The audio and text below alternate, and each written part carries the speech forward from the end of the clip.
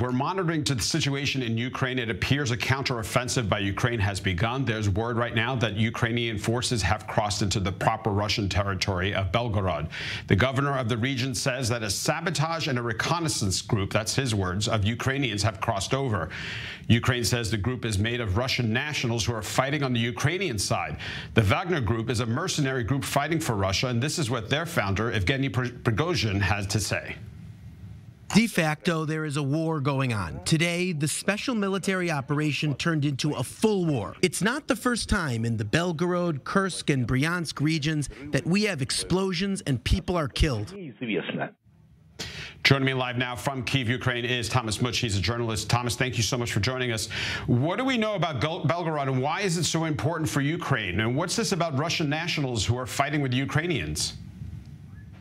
So it's a very bizarre development. To, but to try and break it down piece by piece, there has been a small group, a legion, the Freedom of Russia Legion, that is made up of Russian nationals, but who are considered loyal to Ukraine, who have been fighting in the Donbass region for several months now. It seems like they have made a surprise raid onto Russian territory. It's unclear exactly what their objectives are, but what these probably are are shaping operations ahead of a larger scale counter counteroffensive where Ukraine would want to attack the Russians in various different places across their front line. Effectively, what it does is it is it makes Russia divert troops towards places that they didn't have to expect to divert troops to. It also makes the war much more real for Russians on the ground, potentially delivering a morale blow as well. Now, the intended purpose of this raid should become clear over the few uh, the next few hours, but that's what we know for now, and it could presage a much larger strike elsewhere.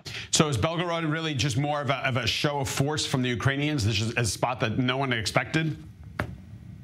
It's more likely to be that than the target of their major counteroffensive. The target of their major counteroffensive is speculated to be in the Zaporizhia region towards the south. However, this really does throw the Russians off guard because they now realize that they might have to guard their own border with Ukraine that they had considered secure for a long time. So Zaporizhia, you mentioned that that, that seems they're doing some shelling around the nuclear power plant in Zaporizhia. That's an, a very dangerous development, isn't it?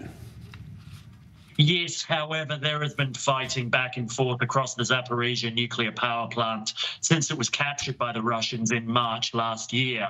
So while it is frightening for everyone, especially on the ground in Ukraine, it's nothing that we haven't seen or heard before. Again, it may presage a larger Ukrainian counteroffensive in that region, whether a crossing of the Dnipro River or a strike on the across the front lines in Zaporizhia, the land-based front lines towards the strategic city of Melitopol in the south. So, Thomas, you know, a lot's been said lately about Bakhmut. The city was blown to bits. It's right now a block by block fight that's been going on between the Russians and the Ukrainians. It's, has it been more of a symbol versus any sort of strategic importance?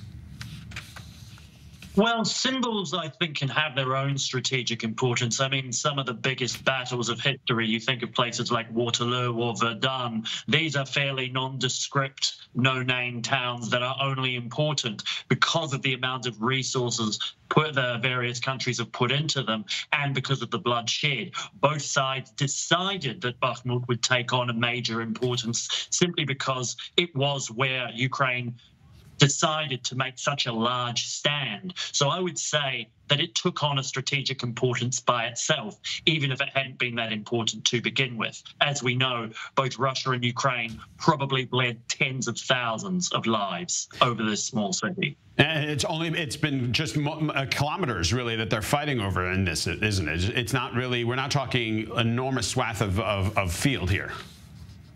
Well, the city of Bakhmut which only had about 70,000 people before the war. It was a very small city. Of course, maybe a few hundred of those remain at best. And of the city itself, almost all of it has been completely leveled to the ground. Possibly about 90% of the buildings have been destroyed. So let's move on to uh, President Zelensky. He crisscrossed the globe. He went first to the Arab League summit, then he went to the G7. Now, how is that being how is that being received in Ukraine itself?